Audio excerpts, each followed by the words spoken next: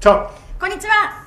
さああ気になるね。気になる。気になるね。何ですか？なんか食べ物でも気になるものが。まあいろいろ気になるよね、はい。サラちゃんのそのスーツが大きかったし。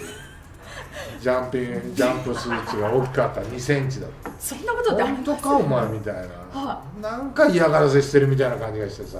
日本に対するっていう。あなんかこうねそうですよいいジャンプしただけに。まああのなんていうのジャンプの中ではい。4人4カ国ぐらい失格者が出てるでしょ？そうです。5人失格だったので。おかしいよな、はい。もう競技にないやらない。だってそれはもうその企画通りのスーツを着てるはずなんだろうけどな、いやそうなんですよ。で抜き打ちでみんな伸ばしちゃったんじゃないの？かってかかるときに。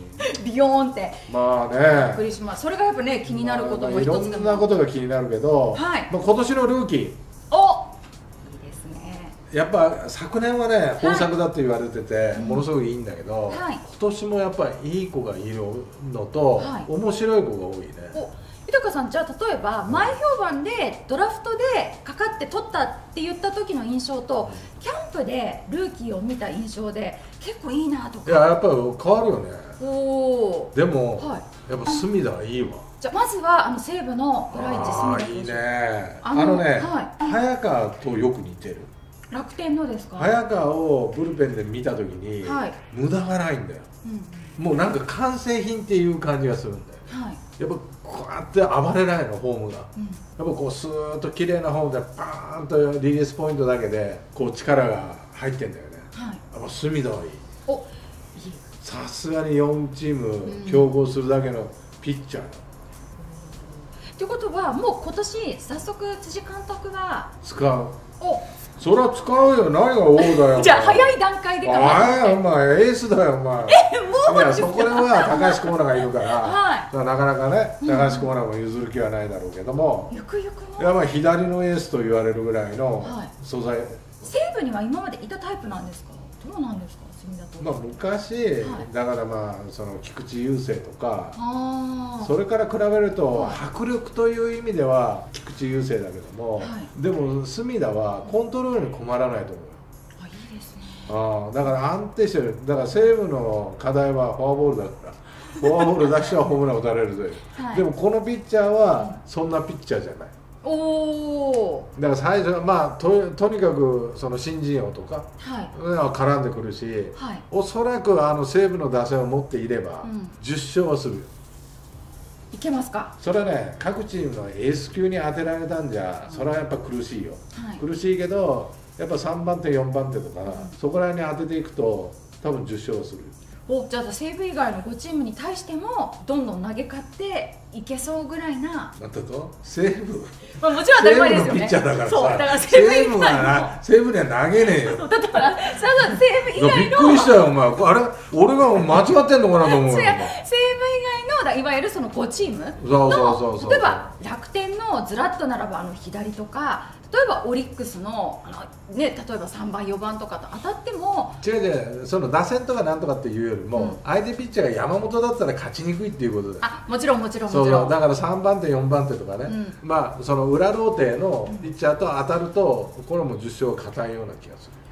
他のそのピッチャーからはうなんか打ちづらそうとかなんかそういうのやっぱコントロールがいいっていうのはさ、うん。やっぱ読みにくくなるし、ん。やっぱこうフルスイングができないだから今年西武打線を考えた時に、はい、点も取ってくれるだろうし、うん、あ隅田はやっぱ勝てるピッチャーだと思う。いいなと思うよ。いやドライチ間違いなかったんですね。いや間違いないよお前なめんじゃないよ。なんかあるじゃないですかドライチ。ちバカ野郎お前ダメ。4チーム競合してんだからそんなさえ投げてみたら何にもなかったみたいなピッチャー4チーム競合しないからピッチャーは結構じゃあドライチで取っておくといいんですね。いやいやいやそれは目玉だったもんな。まあそうですよね。さあ続いて。安田。お、えー、楽天の。楽天のキはい。ャッチャーのね、はい。これは気持ちよく振ってんな。これはね豪快だわ。バッティングどうでした？バッティングはね今風だからこう下からバーン折ってまあバックスクリーンの上段に当てたからなガーン言うて。すごいや誰よりも飛ばしてたっていう。すごい気持ちいいいいやろなとか思いながら、はでもあれが試合であのぐらい振れるようなタイミングを取ってくれるんだったら相当打つよね。えじゃあ打てるキャッチャーキャッチャーなんだけどキャッチャーとしての能力はまだまだちょっと未知数ではい。勉強はたくさんいるな安田は、うん。うんただバッティングは魅力あるよ。左。左。また左。ままた左。あのね柳田の若い時みたいな感じ。柳田はね昔はもっと振ってたんだよはい。で今はこう選球眼とかいろんな読みの中で打ってるけども、まあ安はなんかこう豪快やな。気持ちいいですね見てて。気持ちいいけど ここまで振って大丈夫かっていうぐらい振るよ。でも振れるっていうのが一番大切、うん。うん。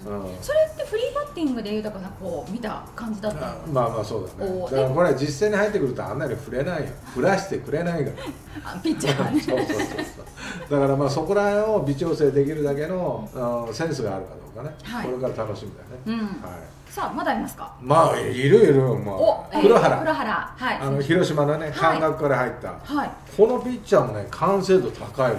おそうなんですね。あのね、はい。床田っていうのがいるでしょ。はい浜村っていうのがいるでしょ。はい。足したみたいなピッチャーた足して2で割るじゃなくて足して2だでよわ割っちゃったらまた戻っちゃう。かそうらだそうですね。そうそうそう。だからあミックスさせたようあなんかね完成度がすごく高いし、はい。やっぱね名門出てるだけあって。わ落ち着いてるわ。智弁和歌山からのってこと感なんです覚ね。感覚いって。でねこれもねパワー系のピッチャーじゃないんだけど、まあそこそこボール来るよ。はい。だけどこうちょっとこう動かしてくるというかさ。うん。だからまあそういうところは床田に似てるし、はい。だから玉村みたいなこうなんかこう緩急を使えるとかさ。うん。なんか非常に完成度が高いというか意外に嫌なピッチャー。ああ嫌なピッチャーになるっていうか。うんそれと森下とはい。栗林栗林はい。が2年連続新人を取ってんだよね。あだから3年連続かって言われてカーブ輩出しますね。いや結構使ってくれるからね。やっぱよかったらうねん。だからやっぱ使ってくると思うよこれも。おおいいピッチャー。いやいいピッチャーいいピッチャはい。ーで d n a の小園。あどうでした？いやどうね挨拶しかき見てない。けどいやいや挨拶い。や期待度は俺は高いんだよ。挨拶しかしてない。なんかなんかコロナかなんかで遅れたんだろ？ちょっとあのキャンプそうですねだ小園健太いや、さんはい。まあ挨拶だけは見たけどさ、はい。や期待度は高いよ。このピッチャーは完成度高いよやっぱり。やっぱボールに力があるよ。はい。それとキレがあるなんかねストーンってバズーカ砲みたいなのと、はい。ピストル系でピョーンとくるピッチャー2種類に分かれるんだよね、はい。こうピストル系だね。ピョーンとくるね。え近年 d n a でそういうピッチャーっていました？上茶谷がそういうタイプになりかけてたんだけど、ならずしてえいるねまだ。まだ今ちょっとまだまだ。未完ちょ成ちょちょっと成長に時間がかかってるというかさ、だから小園は最初から行くといいね。いい。いやいい あのヤクルトのはい。ピッチャーいるでしょ若い。どの方ですかね？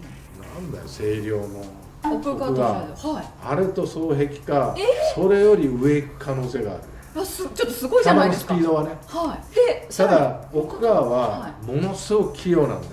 コントロールが。コントロールもいいしうんこうコーナーにこうやって動かしてくるんだよ、はい。小園はやっぱビョーンビョーンとくるタイプだからちょっとタイプは少し違っても、はい。なんか双璧になってきそうな感高卒ですよね高卒。どうですか？今の d n a でもうあすすぐ使いたいなとか。いや使いたいよねあの三浦監督は。で大輔だと思い切りいいから、い。使うんじゃない？それとあのやっぱこう奥川とか、はい。佐々木朗希が感覚を上げたようにそういう使い方をしていくのかなって、うん。まあちょっと思ってるけどね、はい。はい。まあ楽しみだよ楽しみですね。まだベールは見てないから 詳しいこと聞くでもでも甲子園で見た時それとやっぱね体型がピッチャー体型だ、手足が長くてうん。バランスがいいっていう、はい。だから期待してる。だから本当去年豊作でで去年新人王一体誰が取るんだって言われたじゃないですか、まあそうだ今年もじゃあねそういうふうになってほしいですよね。ねいやなってくるんじゃない、競り合ってくると思うよ。いろいろ出てくると思うよ。そうですね。じゃあちょっと今日はまあ新人ルーキーでちょっと豊さんが気になった選手ピックアップしましたけれども。いやまだいるんだよ。まだいます？何お前早くしてみようぜまだいっぱいいる 待って。ねそれはまあ阪神の森木とかさ。ああとですか？中日のまあ森木の話もさせるあごめんなさい。ちょっと先回せ走っちゃった。てんだお前なんかちょっと今日おかしいよお前。今日ね私朝ね分かってるよ。脳が寝てるだろ、お前。顔起きてるけど。3興奮状態にはあるけど、まあ、脳が寝てるっていうような感じちょっとねあのアドレナリン出過ぎてきちゃいました。乗り気はい。ファームだから。はい。似てないんで でもこのピッチャーのそのなんていうのかな顔つきとか、はい。あーそういうのはちょっとこういいなっていう。うん感じをしてる、まあこれからのちょっと見ていきたあいってことですよね。はい、あとね見た中では鵜飼中日中大日のドラフトにどうしてもブブライトライト・ケンケントとト選手に行きそうなんですけど。並んで打ってたんだけど、はい。えどっちがドラフト1位だって？迷うぐらい。そのぐらい鵜飼どのあたりがいいって感じやっぱ触れる？豪快に。かはいなんかねブライト見てるとちょっと考えながらなんかこう振ってる感じがするんだけど鵜飼、はけれみがないね振る時。にこれはねあの右の鵜飼左の安田っつって楽天と中日、で安田の話したでしょ、はよく似てる、へえまあ、ゲームでそこまで触れたら大したもんだよっていう。2人とも。でも触れるように頑張ってほしいよ。なんか一説なんかね情報によると片手一本でスタンド持ってったらしいですよ岡井さん。当てたのかお前なんか振ってなくても持ってきそうだもんな 体だけでね。いやいやもう体がしっかりしてるからさ。あそうか。だ4人今そのキャンプの班が福留選手だったりとかと一緒じゃないですか鵜飼選手って。プレッシャーとか。かも。今の子は関係ないよ。ないですね。福留さんは私知らないんですけど。いやそんな感じじゃない。そうですよね。俺がお前昔さむ 昔だよ、はい。村田っていう選手がはい。日本ハムねルーキーで入ったんだよ、はい。足の速い子が、で俺がグラウンド行ったんだよね、はい。札幌ドームに。ほんでその時に福良っていう今オリックスの GM やってる人がはい。呼んでくれたんだよ「伊沢さん後輩でしょ」って「村田来い!」とか言って、はで呼んでくれて俺の横に来たんだよ。は「村田君だよね」って俺が言ったら「はい」とか言って。挨拶しないんだよ、お前先輩分かんないのかって言って「え？とか言って。はい。高井さんって、えお前同じ大学の先輩後輩だろってこんな感じだから。現役を知らないんですか？現役を知らないイコールもう顔も形も知らないっていうことないやいや本当だって。誰ですか？になっちゃうんですいやだから俺が磯端のとこ行ったりとかさ牧のとこ行ったらさ知ってんのかどうかっていうの。牧こんにちは。牧選手を知ってるんですまあ牧は電話くれだからな、はいあれだけど。ね。あうん、いや知らない可能性があるからびっくりしたから 逆にプレッシャーとか緊張せずにできてる感じなんでしょうね今の子たちあはのビシエドなんかも知らないかも。知ってます。いやわかんないよ。これ誰だみたいな。誰？新人かみたいな。いやわかんない。でもそのぐらいそのぐらいなんかプレッシャーとか感じずなんかボンボンボンボン。そのぐらい見ないんだよ。野球を？見ないで YouTube とかそういうのを見ながら上手くなってる。だからゲームとか見ないわけ。自分が打ちゃい自分がスターだすごい気持ち君こそスターだ。以上、はい